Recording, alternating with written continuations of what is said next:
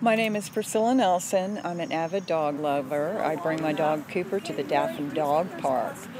And over a course of time, I've met so many wonderful people that love and care about this park.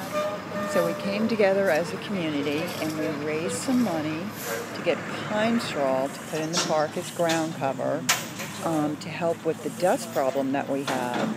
There are so many dogs that come and use this park that it's just a big dust ball by the end of the day.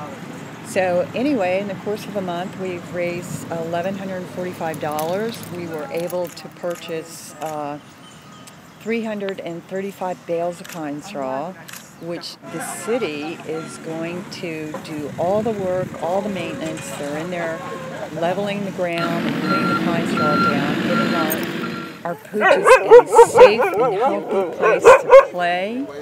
Um, it's really kind of an exciting thing, and we're, we're just so grateful to the city for putting this park here for us.